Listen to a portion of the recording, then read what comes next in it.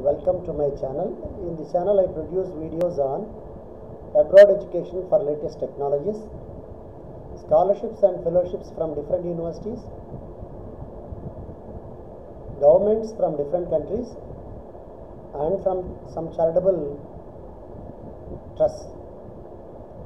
And I also produce videos on job vacancies in India and abroad.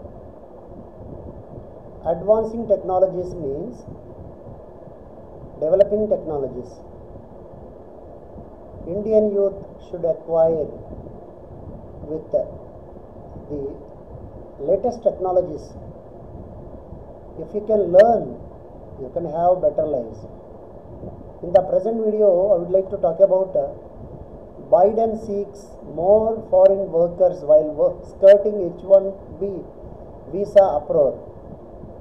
Business groups view the proposal as a way to increase the supply of coders and other skilled tech workers for the US companies without raising caps on programs such as the H1B visa for high skilled workers.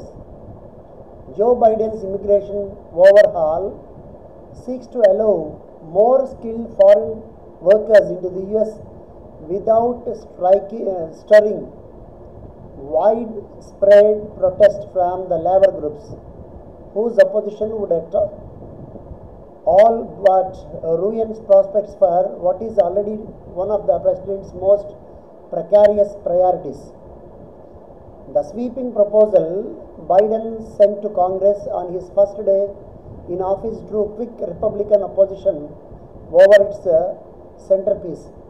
A faster path to citizenship for 11 million undocumented immigrants in the US.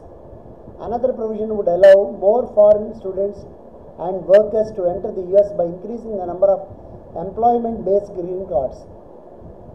Business groups view the proposal as a way to increase the supply of coders and other skilled tech workers for the US companies without raising caps on programs such as the the H1B visa for high skilled workers.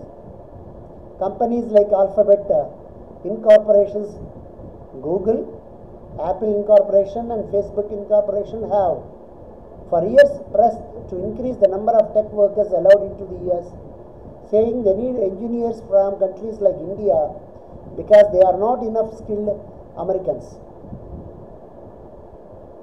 But efforts to expand the workforce through H1B visas have drawn a black backlash from unions and immigration opponents who argue that the companies overlook US talent to hire foreigners at lower salaries.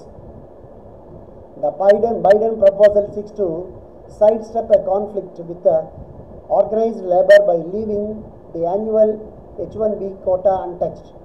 The measure in, in street clears a path for more foreign workers to eventually enter the country by eliminating a decades long backlog of people waiting for employment based green cards, which grant permanent legal residence and are capped at 1,40,000 per year under current law.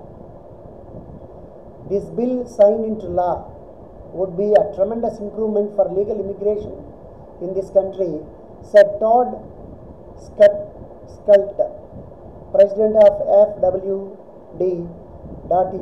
an immigration advocacy group founded by tech industry leaders.